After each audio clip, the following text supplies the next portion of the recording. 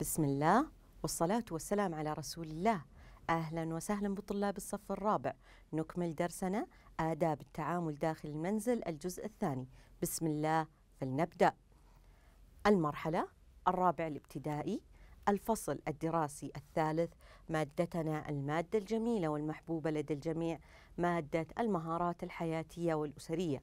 موضوع درسنا لهذا اليوم آداب التعامل داخل المنزل الجزء الثاني.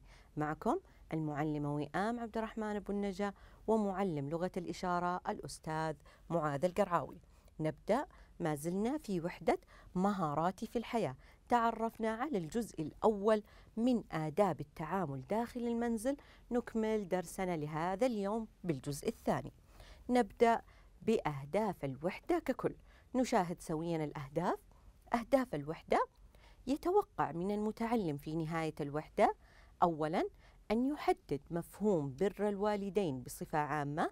ثانيا أن يقارن بين معاملة كل من الإخوة والأقارب. ثالثا أن يكتب توجيهات إيجابية في كيفية التعامل مع الخدم. رابعا أن يعلل أهمية الترشيد في استهلاك المياه.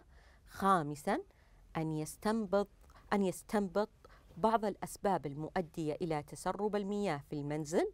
سادسا أن يميز بين سلوكيات هدر الماء داخل المنزل وخارجه سابعا أن يشرح أهمية الكهرباء في حياتنا اليومية ثامنا أن يقترح طرائق فعالة لترشيد الكهرباء داخل المنزل أخيرا أن يبتكر شعارا يسهم في ترشيد استهلاك الكهرباء بالمجتمع. ننتقل إلى أهداف درسنا لهذا اليوم. يتوقع من المتعلم في نهاية الدرس أن أولا يشرح آداب التعامل مع الأقارب. ثانيا يبدي رأيه في من يتحدث عن الآخرين بسوء.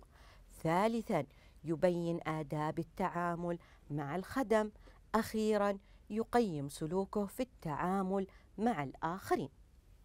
نبدأ مراجعة لدرسنا السابق. تعرفنا في آداب التعامل داخل المنزل الجزء الأول عن المفاهيم الرئيسية. بدأنا بمفهوم بر الوالدين. ماذا نقصد ببر الوالدين؟ بارك الله فيكم يا رابع. نقصد ببر الوالدين طاعتهما وإظهار الحب والاحترام لهما ومساعدتهما والإحسان إليهم. هذا هو تعريفنا لبر الوالدين. ننتقل للمفهوم الثاني صلة الرحم. ماذا نقصد بصلة الرحم؟ بارك الله فيكم. أبدعت صلة الرحم زيارتهم والتواصل معهم وعدم قطيعتهم أيضا تعرفنا في درسنا السابق آداب التعامل مع الوالدين. نشاهدها سويا من آداب التعامل مع الوالدين طاعتهما وتقبل نصحهما. ثانيا عدم رفع الصوت عندهما أو مقاطعة حديثهما. أيضا من آداب التعامل مع الوالدين. السلام عليهم صباحا ومساء رابعا مساعدتهم عند الحاجة. أيضا خامسا رعاية الوالدين عند المرض. أخيرا الدعاء لهما بالمغفرة والرحمة. أيضا تعرفنا آداب التعامل مع الإخوة الكبار والصغار.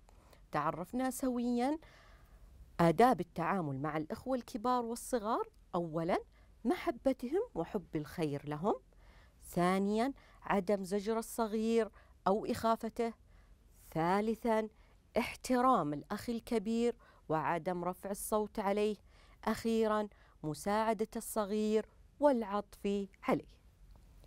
ننتقل الآن في درسنا لهذا اليوم نبدأ بآداب التعامل مع الأقارب. نشاهد سويا عن أنس بن مالك رضي الله عنه أن النبي صلى الله عليه وسلم قال من سره أن يعظم الله رزقه وأن يمد في أجله فليصل رحمه. ننتقل الآن صور من حسن المعاملة مع الأقارب. نشاهد سويا. أولا معاملتهم باحترام وتقدير. يجب أن أعامل الأقارب باحترام وتقدير. ثانيا مد يد العون لهم عند الحاجة. عندما يكونون بحاجة إلينا يجب أن أمد يد العون إليهم. أيضا من آداب التعامل مع الأقارب الاستماع لنصحهم. يجب أن أستمع لنصحهم. أيضا أتقبل إرشاداتهم بكل حب واهتمام. أيضا من آداب التعامل مع الأقارب زيارتهم والسؤال عنهم. وهذا يدل على صلة الرحم. مرة أخرى آداب التعامل مع الأقارب. أولا معاملتهم باحترام وتقدير. مد يد العون لهم عند الحاجة. تقبل نصحهم وإرشاداتهم بكل حب واحترام. أيضا يجب علي زيارتهم وعدم وصلة الرحم معهم. ننتقل الآن. نشاط رقم أربعة صفحة واحد وأربعون. نفتح الكتب سويا. ابدي رأيك بالتعاون مع زملائك في المجموعة حول المواقف الآتية. الموقف الأول قريبة تتحدث دائما عن الآخرين وتسيء إليهم. ثانيا قريب يحسن التعامل مع الأقارب. هنا لدينا آه، موقفان. الموقف الأول قريبة تقوم بالتحدث مع الآخرين بسوء. ما رأيكم بهذا التصرف؟ ثاني تصرف قريب يحسن التعامل مع أقاربه. ما رأينا بهذا التصرف الثاني؟ بارك الله فيكم. إجابات رائعة. نشاهد سويا التصرف الأول يعد من الغيبة والنميمة وهي كبيرتان من كبائر الذنوب فالواجب الحذر من ذلك. يقول الله سبحانه ولا يغتب بعضكم بعضا. سورة الحجرات. التصرف الثاني يعد من حسن التعامل مع الأقارب ومن مكارم الأخلاق فحث فقد حثنا ديننا على حسن التعامل. نقوم بتدوين الإجابات صفحة 41 نأخذ دقيقتان لتدوين الإجابة.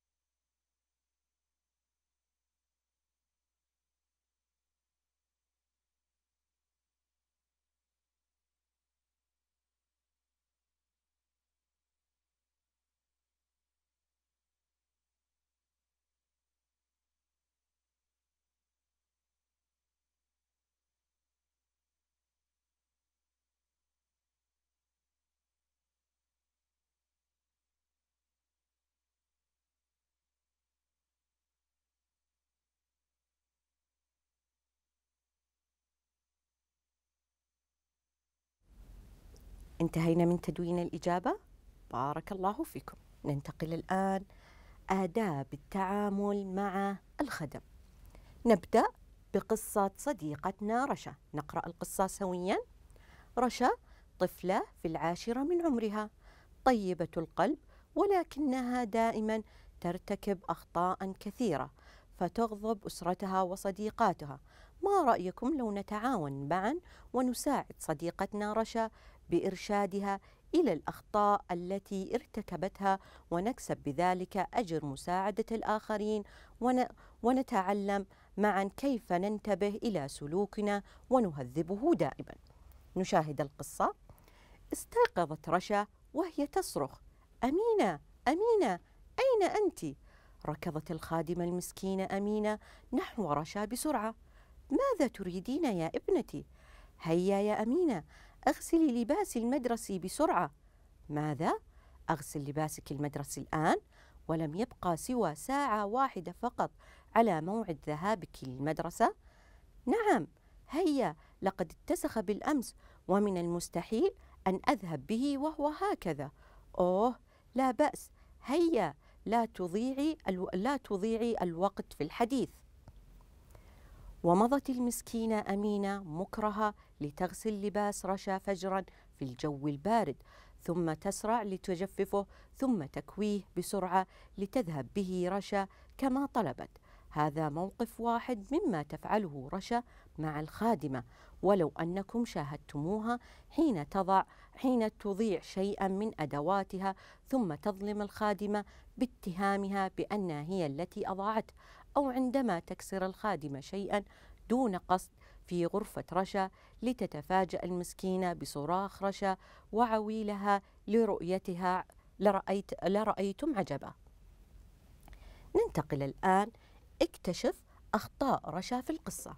هنا لدينا رشا قامت بمجموعة من الأخطاء فلنساعد سويا صديقتنا رشا لحل هذه المشكلة وتفادي هذه الأخطاء.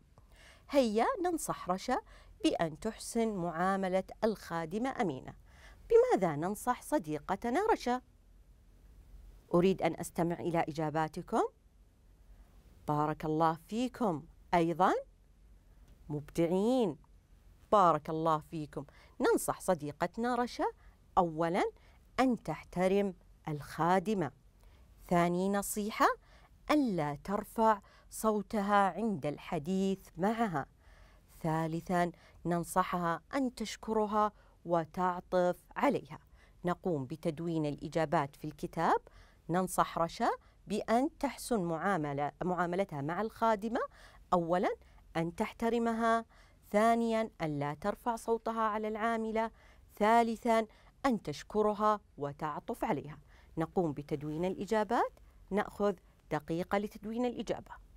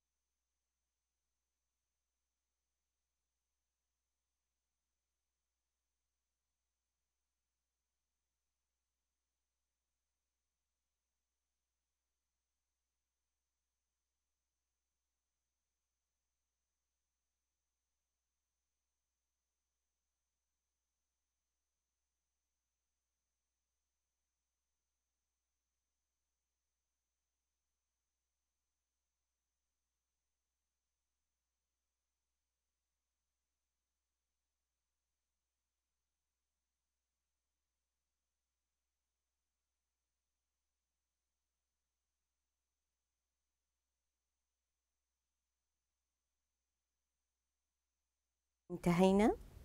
انتهينا من تدوين الإجابة. بارك الله فيكم. ننتقل الآن. آداب التعامل مع الخدم. أول هذه الآداب العطف عليهم. يجب أن أعطف عليهم. ثاني هذه الآداب يجب أن أحترم هذه العاملة. ثالثا يعطيهم مما يأكل. أيضا عدم تكليفها أعمال فوق طاقتها. أخيرا إعطائهم وقت للراحة هذه بعض آداب التعامل مع العاملة. مرة أخرى أعطف عليهم أحترمهم وعدم رفع الصوت عليهم. ثالثا يطعمهم مما يأكل. أيضا عدم تكليفهم بأعمال فوق طاقتهم. أخيرا إعطائهم وقت للراحة. ننتقل الآن نشاط رقم خمسة صفحة ثلاثة وأربعون. نفتح الكتب سويا. هل أنت حسن التعامل مع الآخرين؟ ضع علامة صح داخل الدائرة للصور التي تعبر عن السلوك الذي تمارسه لدينا هنا بعض الصور نضع علامة صح عند السلوك الذي نقوم فيه أول هذه الصور هل تساعد والدتك في إعداد المائدة وتنظيفها بعد تناول الطعام؟ هذا سلوك حسن يجب أن نتبعه وأنا متأكدة من أن الجميع يقوم بمساعدة والدته في أداء أعمال المنزل. نضع علامة صح على الصورة الأولى. ننتقل للصورة الثانية. هل تسعى إلى إسعاد والديك باستذكار دروسك والتفوق في دراستك؟ هنا تصرف أيضا حسن جميعا نقوم بالمذاكرة أيضا نسعد والدينا بدرجاتنا العالية فنضع علامة صح على الصورة الثانية.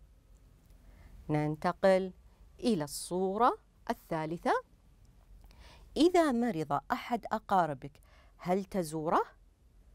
بالطبع نقوم بهذا التصرف الحسن فهو يعد من صلة الرحم مبدعين. نضع علامة صح على الصورة الثالثة. ننتقل للصورة الرابعة. هل تعطف على أخيك الصغير؟ بالطبع تصرف حسن وجميعنا. نعطف على إخوتنا الصغار. نضع علامة صح على الصورة الرابعة.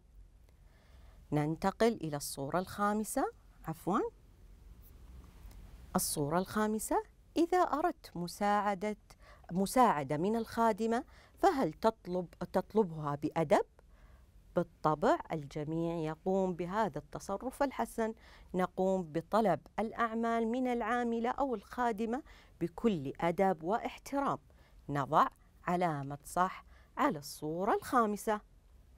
ننتقل إلى آخر صورة. هل تحب للآخرين ما تحب لنفسك وتعاملهم كما تحب أن يعاملوك؟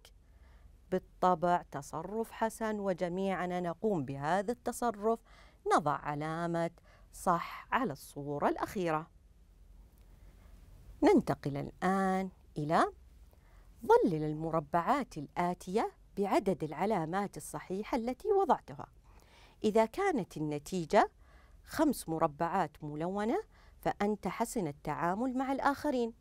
وإذا كانت أربع مربعات فأنت على قدر طيب من حسن التعامل ولكن عليك أن تسعى إلى الأفضل. أما إذا كانت ثلاث مربعات فأنت بحاجة إلى مراجعة سلوكك والمسارعة إلى تحسين معاملتك. نحن قمنا بالتلوين ست مربعات. فجميعا إن شاء الله آه، نحمل حسن التعامل مع الآخرين. نقوم بتلوين المربعات صفحة 44 ننتقل الآن إلى تعرفنا في درسنا لهذا اليوم على آداب التعامل مع الوالدين ويجب علي عدم رفع الصوت عليهم أيضا مشاركتهم في أعمال المنزل والدعاء لهم بالمغفرة والرحمة. أيضا تعلمنا في درسنا لهذا اليوم آداب التعامل مع الإخوة الصغار والكبار فيجب أن أعطف على أخي الصغير أيضا أحترم أخوتي الكبار وعدم رفع الصوت أيضا عليهم. أيضا تعرفنا في درسنا لهذا اليوم آداب التعامل مع الأقارب فيجب علي زيارتهم ومد يد العون إليهم. أيضا عدم مقاطعتهم. ننتقل الآن تعرفنا أيضا آداب التعامل مع الخدم فيجب علينا أيضا أن نحترمهم ونعطف عليهم. ننتقل الآن إلى نشاهد سويا قصة صديقتنا عائشة. Mm. وحدي. حاضر. هم. آه ما هذا الذي فعلته يا عائشة؟ لقد أغضبتني يا أمي. يا حبيبتي قال رسول الله صلى الله عليه وسلم. عليه الصلاة والسلام. ليس منا من لم يرحم صغيرنا ويوقر كبيرنا. أنا آسفة يا أمي. لقد انفعلت قليلا يا حبيبتي يجب أن تتعلمي أدب التعامل مع إخوتك الكبار والصغار ها؟ وما هي تلك آداب التعامل مع إخوتي الكبار والصغار يا أمي؟ محبتهم وحب الخير لهم احترام الكبير وعدم رفع الصوت عليه عدم زجر الصغير أو إخافته مساعدة الصغير والعطف عليه لم أكن أعرف هذه الآداب يا أمي. إن شاء الله لن أرفع صوتي على من هم أكبر مني سنا وسأساعد إخوتي الصغار ولن أزجرهم. أمينة! أمينة! اغسلي لباسي المدرسي بسرعة واياك اياك أن تتأخري. آه، لماذا تنادين على الخادمه أمينة بتلك الطريقة؟ أه، ابدا أرغب أن تغسل لباسي المدرسي. يجب أن تعاملي الخادمة معاملة حسنة وتعطفي عليها ولا تقسي عليها. فعن أنس بن مالك رضي الله عنه قال خدمت النبي صلى الله عليه وسلم عليه عشر سنين والسلام. فما قال افا قط وما قال لشيء صنعته لما صنعته ولا لشيء تركته لما تركته. آسفة يا أمي سأغير من سلوكي إن شاء الله. وسأعامل إخوتي بأدب واحترام. كذلك الخادمة سأعاملها بلطف ولين. بناتي العزيزات إن الأخلاق الكريمة هي التي تمكن الإنسان من العيش في مجتمعه محبوبا ومقبولا. شاهدنا سويا قصة صديقتنا عائشة. ما الخطأ الذي ارتكبته صديقتنا عائشة؟ بارك الله فيكم. مبدعين لم تحترم أختها الكبيرة. أيضا رفعت صوتها على العاملة المنزلية. بارك الله فيكم. ماذا ننصح صديقتنا عائشة؟ بأن تحترم أختها الكبيرة وتعطف على العاملة. مبدعين بارك الله فيكم. ننتقل الآن إلى البطاقات الملونة. نشاهد سويا نختار أي بطاقة. نبدأ بالبطاقة الزرقاء. من آداب معاملة الوالدين مقاطعتهما في أثناء الحديث لأنه حق من حقوقي. هل هي إجابة صحيحة أم خاطئة؟ هل هو سلوك صحيح؟ بالطبع لا سلوك غير صحيح. بارك الله فيكم. ننتقل للبطاقة. ننتقل للبطاقة الصفراء.